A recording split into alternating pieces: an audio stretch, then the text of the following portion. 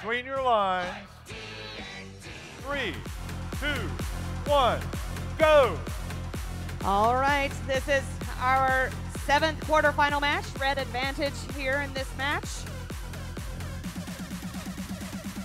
Hatch panels and cargo placed in this match will score two or three points.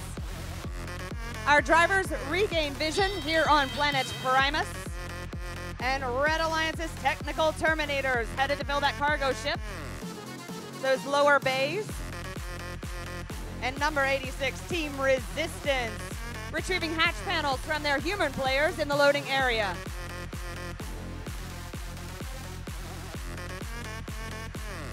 That's exploding bacon on the near side of the field. 1902 working for the Red Alliance, quickly and easily placing those hatch panels. Hook and loop tape holding those to the cargo ships, also invented by NASA. All right, we've got Hostile Gato Robotics down here, 4005. Their robot is very fast.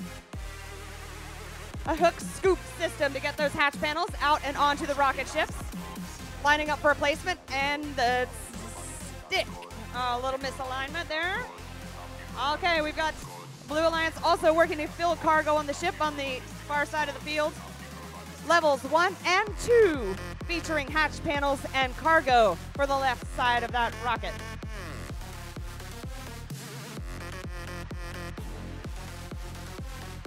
Fifty seconds left in the match. Red Alliance has cargo in both rockets. Total of four cargo in those rockets. Right now, 53-53, score tied. 40 seconds left in the match. At the 30 second mark, you will see our robots heading into their habitats to score additional points in the end game. 30 seconds left. And our robots are heading in for docking with their HAB stations. Technical Terminators working on that second level climb. Number 86, that is Team Resistance for the third level, 12 point climb. Looks like our robots are going to all be on the half Red Alliance, one on each level, 10 seconds left in the match. We got a second level climb for 2393. Will they push it in? Will it be holding itself up? It is. We are all on, on Blue Alliance. Two, one, match.